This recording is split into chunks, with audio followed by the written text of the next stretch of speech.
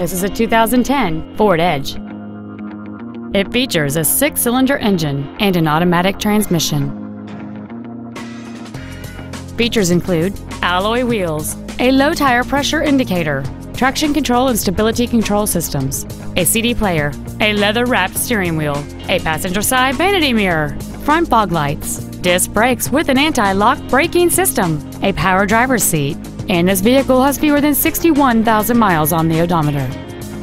This Ford has had only one owner, and it qualifies for the Carfax buyback guarantee. Please call today to reserve this vehicle for a test drive.